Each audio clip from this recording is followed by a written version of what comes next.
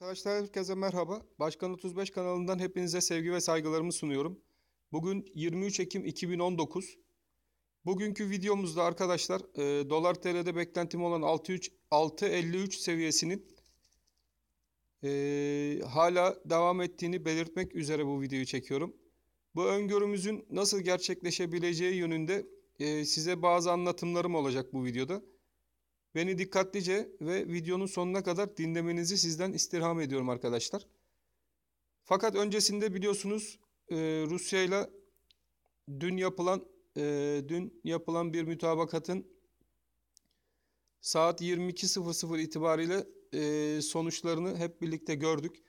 Bu sonuçlarda lehimize güzel kararlar çıktı arkadaşlar. Bu kararlar neydi? Kurtarılmış Suriye'deki kurtarılmış bölgede artık bundan sonra Suriye askerleriyle birlikte devriyeler atılacak sınırda.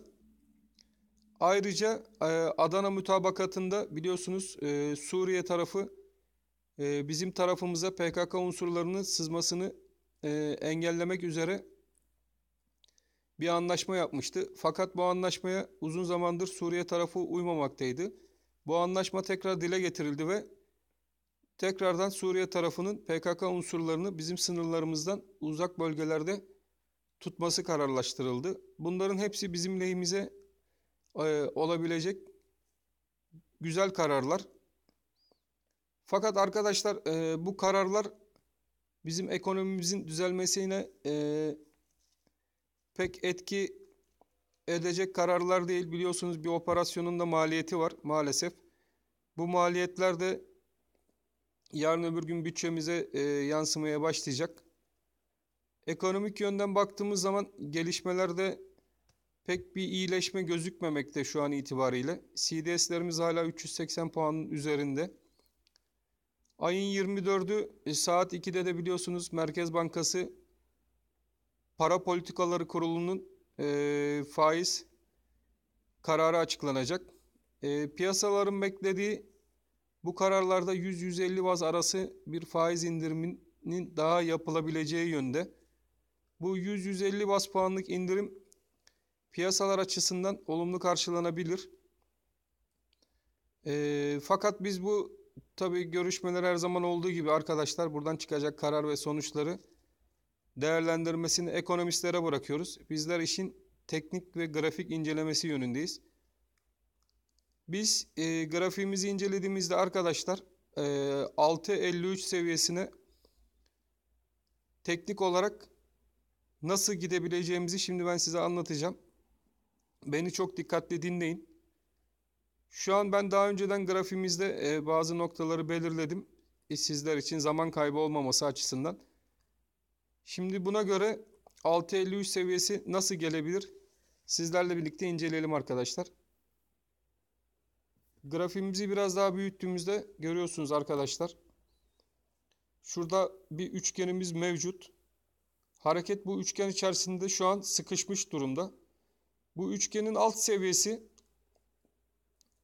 5.70 seviyesinden geçiyor arkadaşlar. Yani 5.70 seviyesi aşağı yönlü kırılmadığı müddetçe yukarıdaki hareket alanı bu hafta için 5.86-5.87 civarından geçiyor.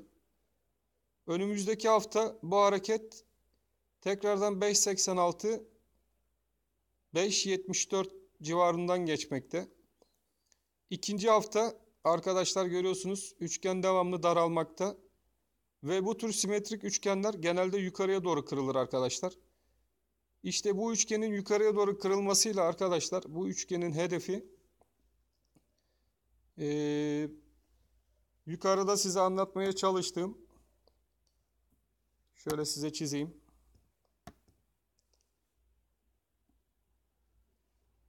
Evet şu üçgen şuradan kırılımını gerçekleştirdiği zaman arkadaşlar yukarı doğru hareketine devam edecektir. Bu üçgen içerisindeki kırılım arkadaşlar şu seviyelerden e, yaşanmasını beklediğimiz bir kırılım. Bu 5.86 5.80 civarlarından yukarıya doğru bir kırılım gerçekleşmesi halinde artık dolar TL'nin altılı seviyelerin e, üzerine doğru çıkacağı benim öngörüm ve beklentim dahilinde. Burada dolar TL'nin artık pek fazla bir hareket alanı kaldığını ben düşünmüyorum arkadaşlar. En fazla aşağıda şuradaki 5.70 e, seviyesine kadar düşüşler olabilir. Gelecek iyi haberlerle birlikte.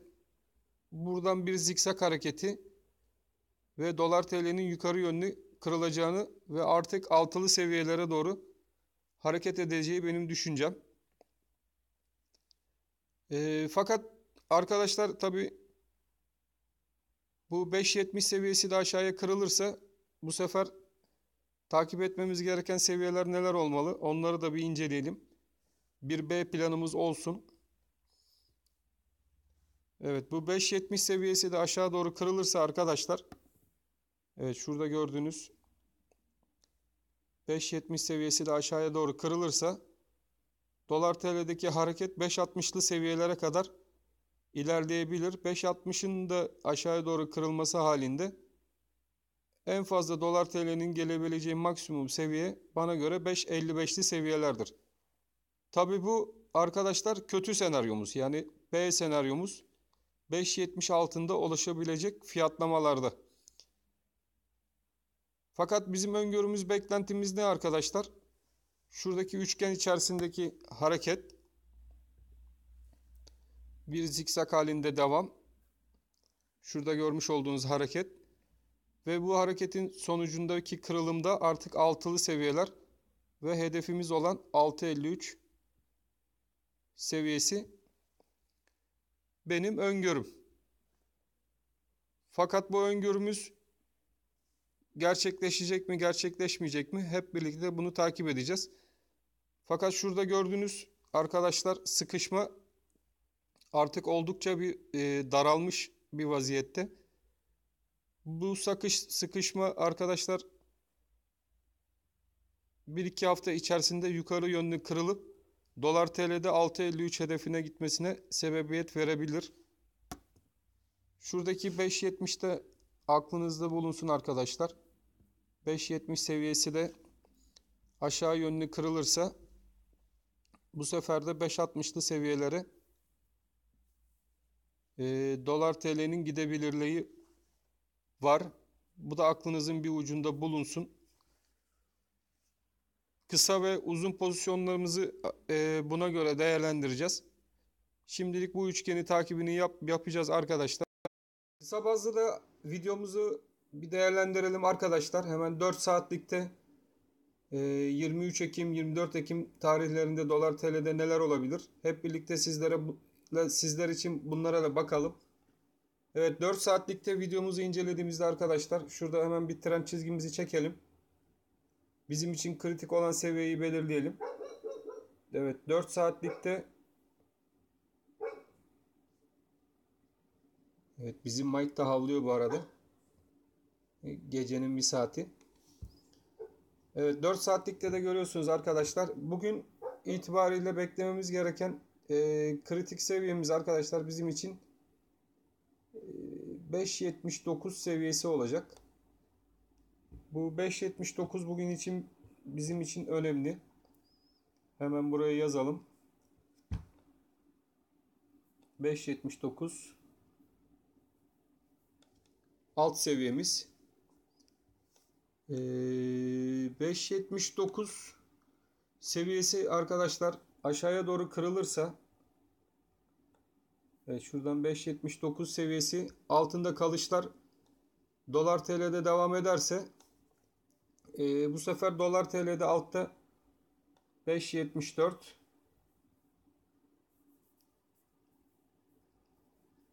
ve 5.70 desteklerimiz mevcut.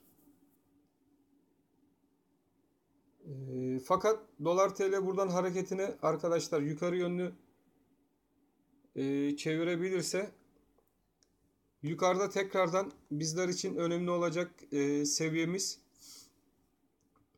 5.82.50 Evet şurada bir 5.82.50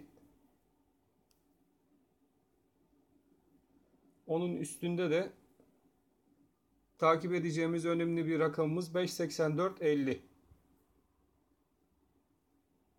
Evet 5.84 50 rakamımız var.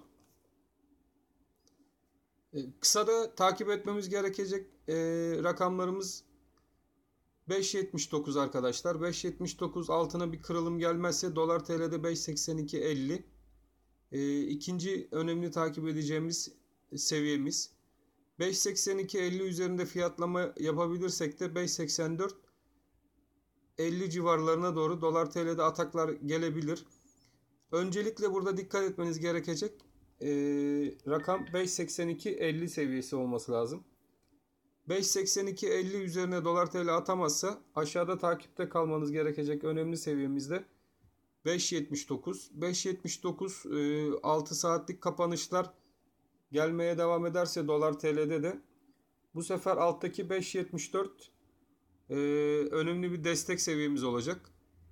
5.74 de kırılırsa arkadaşlar aşağıda biliyorsunuz e, orta vadede uzun vadede de beklediğimiz 5.70 seviyesi var. Burası alım yapmak isteyenler için de mükemmel bir seviye olur. 5.70'li seviyeler. Tabi gelirse arkadaşlar alım yapmak için de ideal bir yer.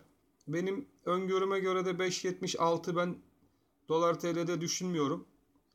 Orta vadede biliyorsunuz grafiğimizde de baktık 5.70 5.86 ee, ondan sonraki hafta 5.74 5.84 bu şekilde düşen kanalımız ve yukarıdan yükselen kanalımızın yukarı doğru kırılıp artık dolar TL'de 6'lı ve 6.53'lü beklediğimiz öngörümüz olan rakamlara doğru hareketlerin başlayacağını düşünüyorum.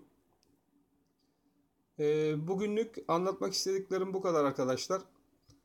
Hepiniz kendinize çok iyi bakın. Allah'a emanet olun. Hoşçakalın.